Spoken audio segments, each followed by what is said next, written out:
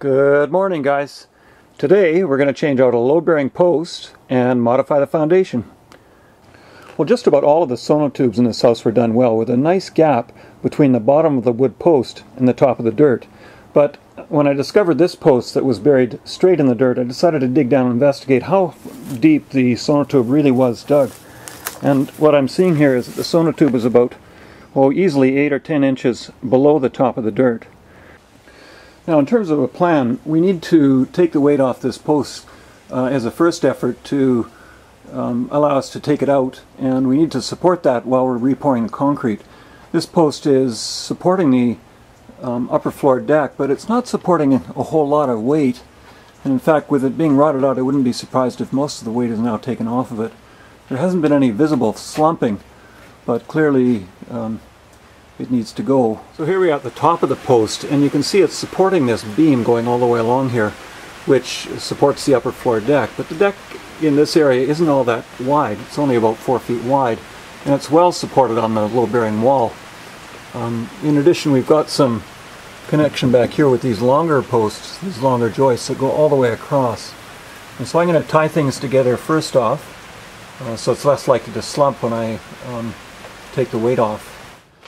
Now it may seem like the most logical thing is to jack from here, but my base directly underneath isn't particularly stable and I don't want to come at this from an angle in case it twists.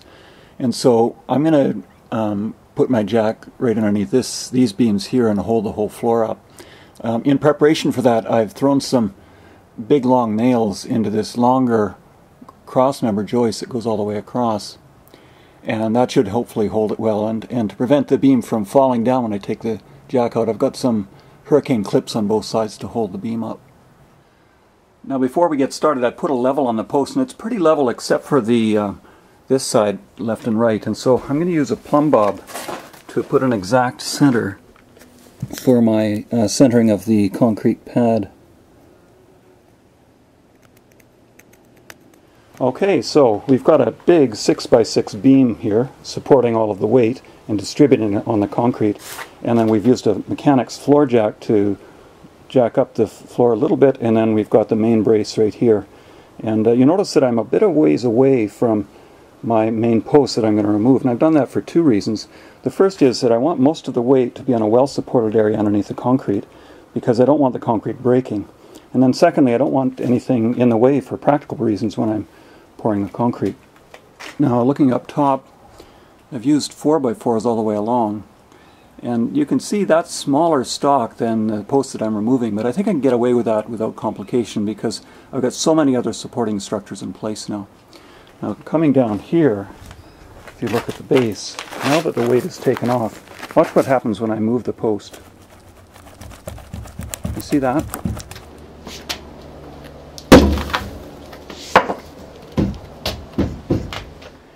It's pretty easy to see why this post wasn't supporting any weight. The carpenter ants had completely destroyed this of any sort of structural integrity.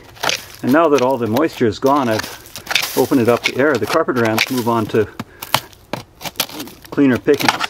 Well, I have some old half inch uh, plywood that I'm going to use up here. I would have preferred three quarter, but this is available. It's a bit dirty, and so I'm using a skill saw because I don't want to wreck any of my other blades. I've used a wire wheel to get the superficial rust off this device and to clean up the concrete to give myself the best chance that this will adhere.